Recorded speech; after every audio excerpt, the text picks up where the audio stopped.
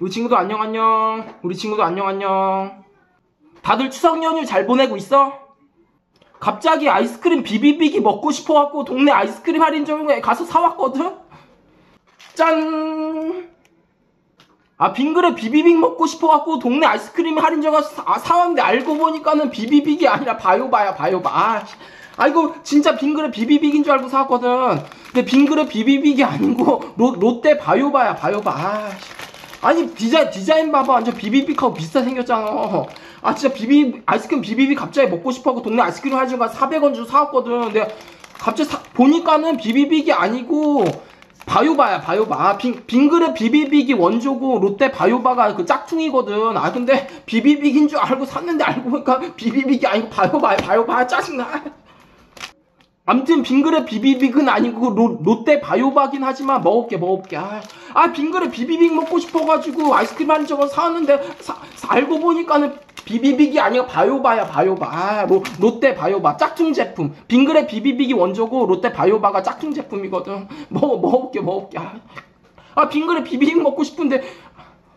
음, 음. 맛은 맛은 뭐 그냥 비비 맛은 뭐 빙그레 비비빅하고 맛은 뭐 거의 똑같다고 보면 돼. 음. 음. 아.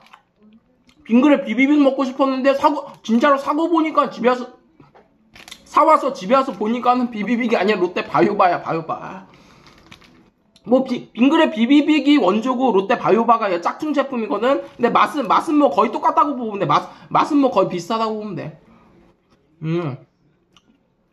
맛은 뭐 거의 비슷하네. 맛은 비슷하네. 음. 음. 맛있어, 맛있어, 맛있어.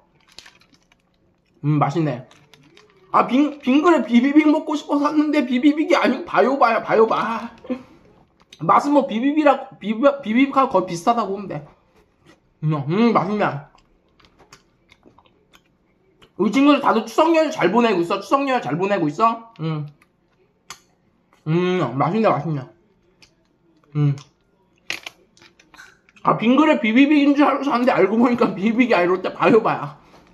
추석 연휴 잘 보내, 추석 연휴 잘 보내.